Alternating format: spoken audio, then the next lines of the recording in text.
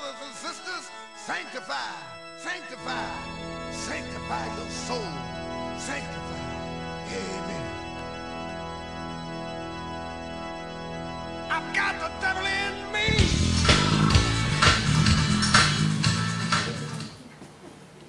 Basta, no, no, pensavate che dovevamo ballare con zucchero stamattina. Ci ho provato, ma mi hanno detto che non era possibile.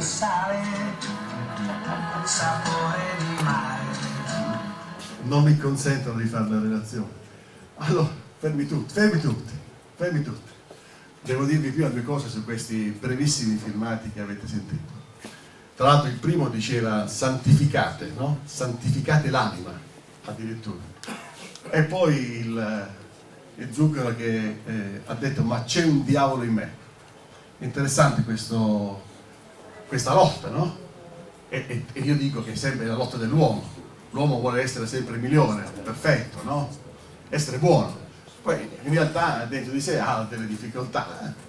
Lui lo chiama il diavolo, qualcuno può chiamarlo anche in un altro modo, ma di fatto è molto interessante vedere l'uomo tutti i giorni come combatte, combatte tutti i giorni per essere migliore, ma ahimè eh, ha delle cadute, questo è fuori dubbio. Ma l'altro contrasto che avete sentito dopo la parola di zucchero è il, è il sapore di sale. Ed è un altro contrasto della nostra vita quotidiana. Zucchero è salato, no? dolce e salato. E tendenzialmente a noi un cibo se ce lo portano sciapito non ci piace, questo è evidente. Amico, conosco le tue opere, tu non sei né freddo né caldo. Magari tu fossi freddo o caldo, ma poiché sei tiepido, non sei cioè né freddo né caldo, sto per vomitarti dalla mia bocca. Grazie. Questo è un intervento dal profondo. Che cosa, chi, è, chi è costui? Ah, ecco qua. Pensate un po', sono parole di San Giovanni Apostolo dal libro dell'Apocalisse. Conosco le tue opere, tu non sei né freddo né caldo. Magari tu fossi freddo o caldo, ma poiché sei tiepido, non sei cioè né freddo né caldo, sto per vomitarti dalla voi pensate, persino il Signore si è scomodato per dirci che le persone sciapite non servono a nulla. Eh? Cioè, molto spesso nelle, nelle, imprese raccontiamo la storia della rana bollita, no? quella che nel tepore va e poi alla fine se ne va, perché non reagisce, perché l'acqua è tiepida e quindi non, fa, non è né fredda né calda. In realtà molto spesso la fine della rana la facciamo noi, noi persone, e pensare di trascorrere la nostra vita sulla terra, questo periodo, in un tempo che ci è dato da uomini sciapiti, mi sembra che insomma, non sia proprio il massimo no? del, nostro, del nostro desiderio. Perché l'uomo è un essere relazionale, è nato per stare insieme con gli altri, è lì che si realizza, nella relazione, no?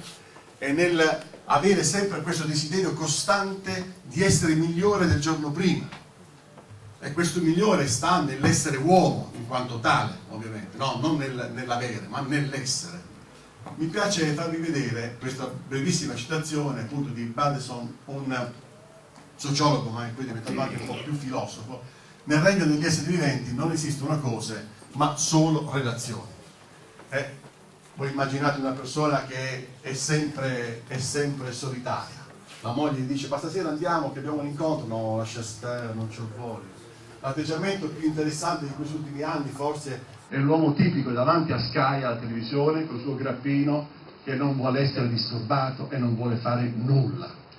E ovviamente viene meno secondo me al principio per cui lui è nato tendenzialmente. Vorrei farvi vedere questa, questo piccolissimo circuito causale eh, dell'essere è un circuito ovviamente virtuoso che introduce già un po' il tema di oggi, che è il tema dell'apprendimento e del cambiamento.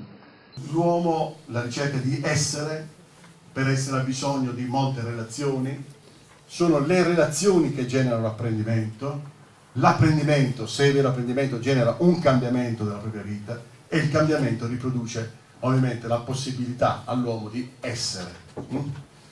E sappiamo tutti quanti come questo circuito è molto interessante nella piccola età, nell'infanzia, e diventa un po' meno utilizzato nella tarda età.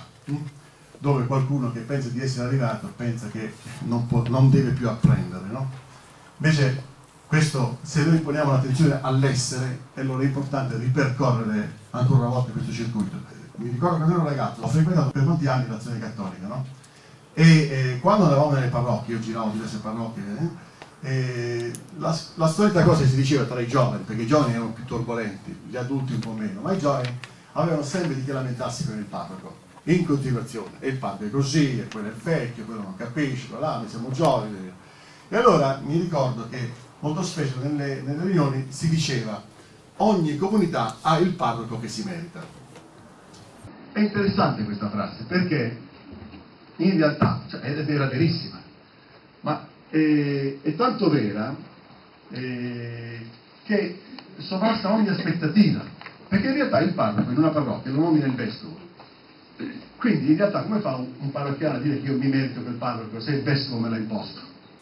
Cioè, no, invece sì, perché il modo con cui vive la comunità e il parroco vive nella comunità e con noi, qualcuno dice anche prego per il parroco, in realtà il parroco vuol dire, è, dà, riesce a donare e a stare nella comunità nel modo con cui la comunità gli chiede di stare e di essere parroco. No?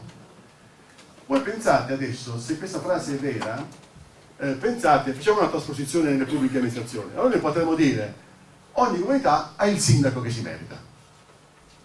E anche questa, questa è una più vera, perché ovviamente un sindaco noi ce lo andiamo a scegliere, ce lo scegliamo, lo votiamo.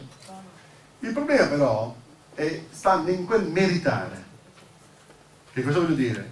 Che in realtà non è che noi ci meritiamo il sindaco che abbiamo scelto perché l'abbiamo eletto e lì, in realtà questo sindaco poi deve lavorare per 4 anni, per 5 anni. Dico, parlo del sindaco perché è la cosa più semplice, possiamo parlare del presidente della regione, di qualche assessore. No. Che cosa significa? È il sindaco che ci meritiamo. Significa che se noi non facciamo nulla, lui non farà nulla. Cosa voglio dire? Che è il nostro modo di agire col, con lui, col suo modo di essere sindaco, di fare sindaco, è la nostra partecipazione alla vita sociale che può consentire a un pubblico amministratore di cambiare il suo modo di essere. Una comunità di tiepidi sicuramente avrà un sindaco tiepido, perché non ha bisogno di reagire o di agire rispetto a niente. È una comunità che non esige niente ma guardiamo un altro aspetto anche di quel meritare. Sapete, appena dopo eletto un sindaco, tendenzialmente cosa gli vanno a chiedere le persone? Ma, ripeto, uso il termine sindaco per usare un termine qualsiasi amministratore. Penso ai due assessori che sono qui, quante volte le persone sono andate da Martino o dall'amico Guglielmi a chiedere qualche cosa. Che cosa gli hanno chiesto? Provo a dirla, eh? Qualcosa di assolutamente personale e individuale. Cioè, mi soddisfi un bisogno, questo è il concetto. I cittadini hanno un approccio alla pubblica amministrazione a chiedere soddisfazione di qualche bisogno individuale e non per la comunità. Allora, eh, anch'io l'ultima volta che ho incontrato Minervini eh, gli ho chiesto una cosa, però può ammettere che ho chiesto una cosa, devo dire, per il bene comune, no? E non una cosa che serviva a me personalmente, alla mia famiglia, mio fratello, mia sorella e qualcun altro. Perché lo stile delle nostre richieste ai pubblici amministratori la soddisfazione di qualche cosa che soddisfa il nostro benessere, tra virgolette, individuale o familiare. Quanti cittadini si muovono per chiedere a un pubblico amministratore qualcosa che soddisfi il bene comune? Ma voi mi direte, ah, stamattina stai facendo un po' troppo la poesia. Ah, bene comune, non sappiamo noi che cos'è il bene comune, figuriamoci il cittadino di strada.